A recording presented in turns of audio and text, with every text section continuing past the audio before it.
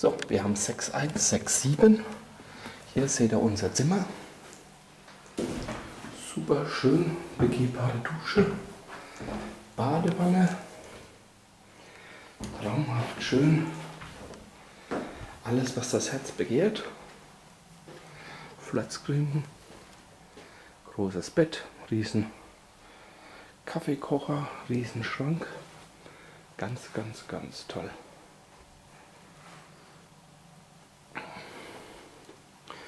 Und hier schauen wir jetzt mal raus.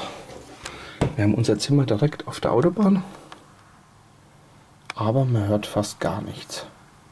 Super toll isoliert. Und hier genau gegenüber ist das Sheraton Hotel.